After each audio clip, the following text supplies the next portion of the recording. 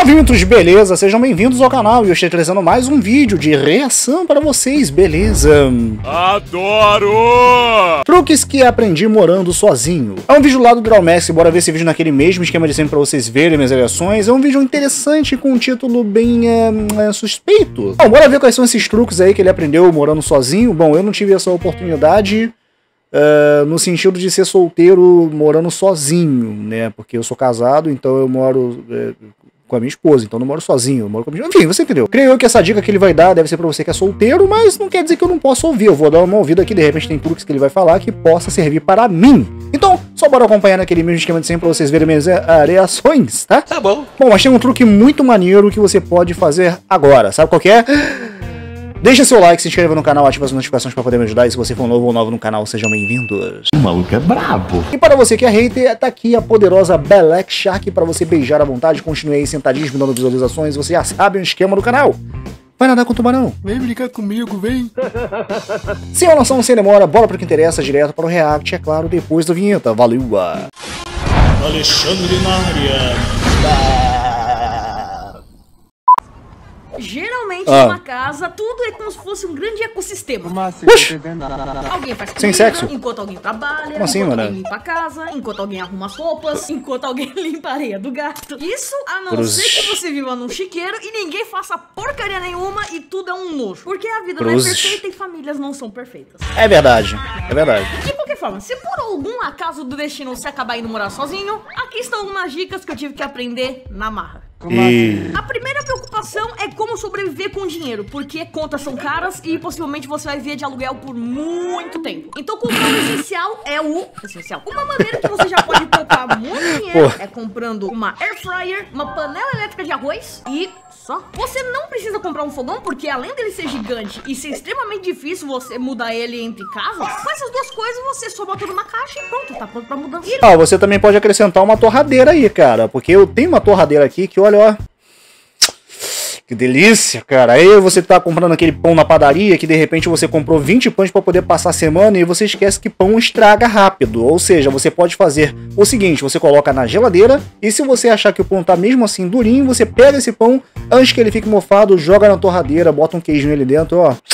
Que delícia, cara. Que vontade. Deu até vontade de comer um agora aqui, na moral. Eu também. tem o essencial: batata, carne, frango. Hum. E muito sério. Qualquer coisa que você for fryer tá ali. E se você quiser fazer qualquer Eu tenho. coisa na panela de arroz, como até, por exemplo, miojo, Ah. dá pra fazer. Criatividade Oh. é o limite com essas duas coisas. Isso É verdade. já que a gente tá no assunto de comida, o que você deve comer pra sobreviver? Porque a alimentação é importante. Eu não sou Né? especialista, não sou nutricionista. O que eu Não. sei é o que eu vivi, então vamos lá. A melhor maneira Ah. de sobreviver com comida é comprando carne moída. Sei lá qual Hum. modelo, pode ser... Pode ser o mais barato. O importante é comer, cara. Você tem que viver. Você tá morando sozinho. Eu acho que a 100 é melhor, cara. Pra, porque a 100 eu acho que é um pouquinho mais barato. Pelo menos quando eu vou fazer compra, geralmente eu vejo que ele é mais barato. Mas, né, se você quiser ostentar e tiver dinheiro sobrando, compra um filé miau e pede pra triturar aí.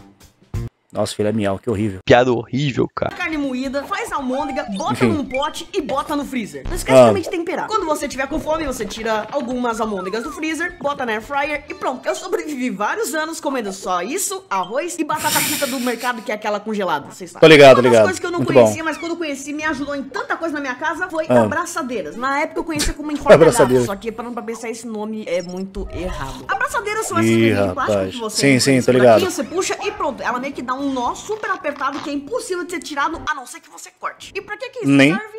Tudo.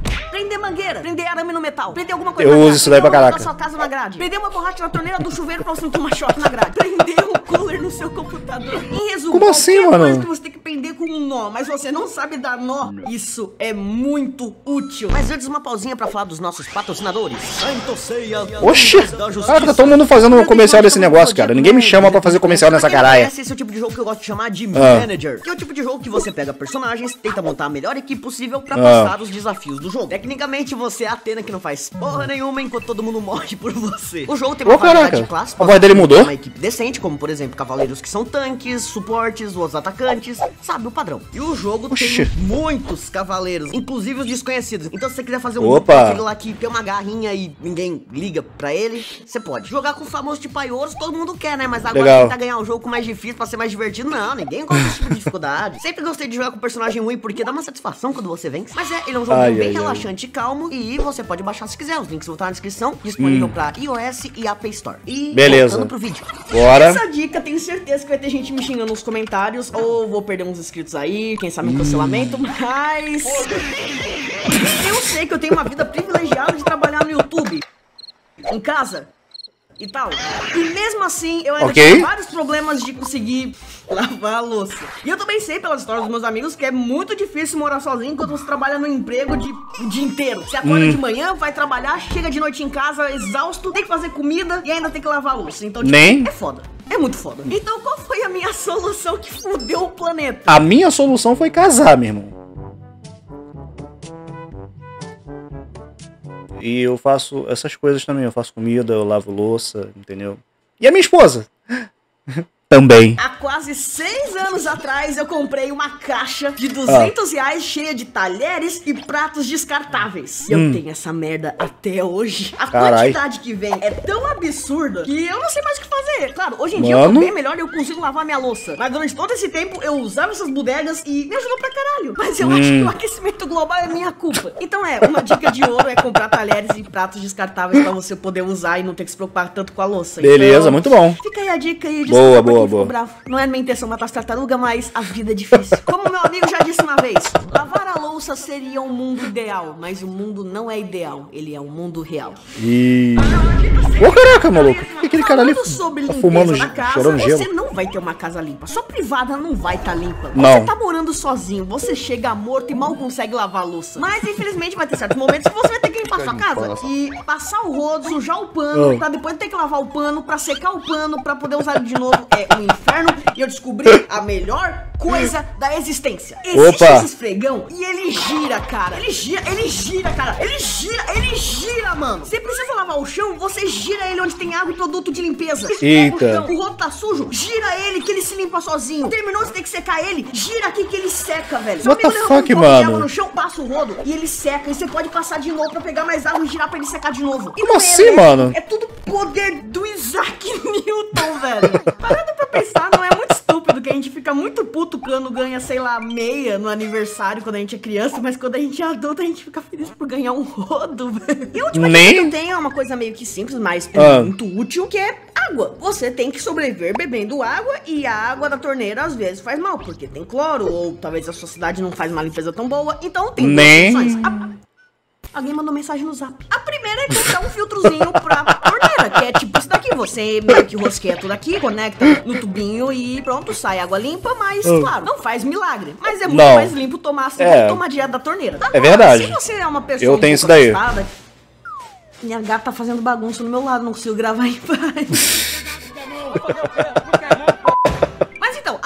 você é novo nessa coisa de viver sozinho, você não tá acostumado Oh. a mexer com fiação elétrica ou coisas de água e coisa e tal. Então eu sei que pode ser um pouco Tem que aprender, mané. você mexer ali onde vaza água e Ei. etc. Então, uma dica que eu te dou é não Ah. compre um bebedouro de água. É a pior ideia que você faz. Porque aquela Ah. bodega, com o tempo, junta limo lá dentro e pra limpar, você nunca sente que tá realmente limpo e a água sai meio esverdeada e Ah. tem muita dor de cabeça. Então eu recomendo você comprar esta bomba d'água que você bota em cima do galão, aperta e sai água, tudo com a força de Newton. Valeu, Isaac Newton. E essa é a última ideia que vem na minha cabeça sobre viver sozinho. Eu Opa. mais ideias, fazer um vídeo depois mais com mais coisas, Beleza, mas beleza. no geral é isso. Eu espero ter ajudado alguém que está agora morando sozinho e desculpa, tartarugas.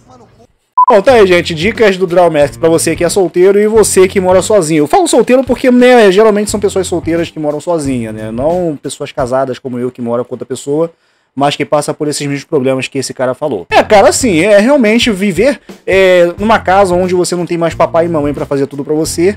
É, não é fácil. Tudo que ele falou eu endosso com as minhas palavras também, porque nem é difícil, meu irmão. É difícil você chegar ao trabalho cansadaço e aí você chega e não tem aquela comida pronta. E ainda mais que eu e minha esposa trabalhamos fora, né? Então fica complicado. E complica mais ainda com o filho. Olha só que beleza, maravilhoso. Mas é a pura realidade, tudo que ele falou aí. Se eu tivesse visto esse vídeo, ah, deixa eu ver. ah, bom, não, tem como falar, né? Porque quando eu fui morar sozinho, eu vim morar com a minha esposa, não vim morar sozinho. Se bem que eu fiquei uma semana sozinho na casa alugada, né? Eu poderia ter pego esse vídeo aqui na época. Ah, não, não tinha feito. Ele não existia ainda. Enfim, essas são dicas bem preciosas até pra nós que somos casados também, porque, né, tem muita coisinha que a gente pode pegar, incluindo essa parte aí. Bom, se bem que eu não vou me desfazer do fogão, né? Mas enfim, eu já tenho. Mas se eu não tivesse comprado o fogão antes, se bem que eu ganhei o fogão. Mas se eu não tivesse ganhado o fogão, né, eu, eu com certeza teria ficado aí com essas opções aí de air fryer que eu já tenho, inclusive também esse outro negócio que ele falou que parece que é uma panela lá que faz tudo lá, você bota no arroz, bota o feijão e faz tudo lá, o bagulho é sinistro, tá ligado? Eu teria feito isso daí provavelmente, mas enfim, de repente pra começar e aí depois eu ia construindo mais coisas na minha casa. Link do Growmax estará na descrição se vocês quiserem mais vídeos dele, vocês já sabem como é que funciona, se bem que esse daí eu peguei sem pedir uh, ninguém para me comentar aí, porque se depender de vocês eu não vejo mais nenhum vídeo aqui no canal